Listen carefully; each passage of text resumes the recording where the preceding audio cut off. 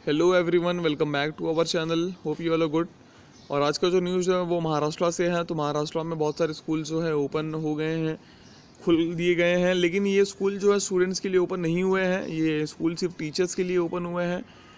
और क्यों किया गया है तो कुछ एडमिनिस्ट्रेटिव और कुछ नॉन टीचिंग वर्क जो है, उनको कंप्लीट करने के लिए। तो बहुत सारे स्कूल जो है, महाराष्ट्र में खुल गए हैं, लेकिन बहुत सारे टीचर्स ने इस पर भी जो है सेफ्टी कंसर्न्स जो है रेज़ किया है।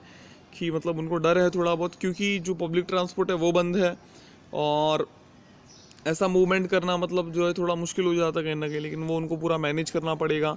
और भी बहुत सारे स्कूल जो है वो शायद खुलेंगे, ताकि जो उनका नॉन एडमिनिस्ट्रेटिव काम है या जो एडमिनिस्ट्रेटिव वर्क्स हैं, वो क्या कर सके कंप्लीट कर सकें, ठीक है? और जो मतलब जैसे रिजल्ट्स वगैरह जो बाकी रह गए हैं, जितने भी रिपोर्ट्स वगैरह बाकी रह गए हैं, उनको प्रिपेयर करना तो बहुत सारे ऐसे काम जो है बचे रह गए हैं। और उसके बाद जो टीचर्स हैं बहुत सारे स्कूल्स में जो है, उनको इस तरीके से मतलब काम दिया गया है कि आपको जो है सिर्फ़ हफ़्ते में दो से तीन दिन आना है, ठीक है? तो ज़्यादातर मतलब जो अल्टरनेट वर्किंग डेज़ असाइन किए गए हैं टीचर्स को, ऐसा नहीं है कि मतलब कंटिन्यूसली आपको आना है और सारे टीचर्स को एक साथ नहीं बुलाया जा रहा है, ठीक है?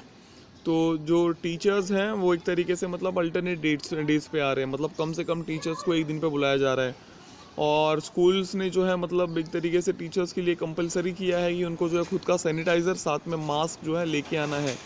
और बहुत सारे ऐसे स्कूल्स और कॉलेजेस से भी मतलब ऐसी बातचीत हुई तो मालूम पड़ा कि एक स्टाफ मेंबर जो है सिर्फ़ एक हफ़्ते में एक बार के लिए आएगा। ठीक है तो इसके, इस वजह से मतलब इस तरीके से सारे टीचर्स को ऑर्गेनाइज़ किया गया है। तो ये था आपका आज का न्यूज़ आई होप कि आपको पूरा समझ में आ गया होगा। मिलते हैं अगले वीडियो में कुछ नए न्यूज़ के साथ। Stay home stay safe thank you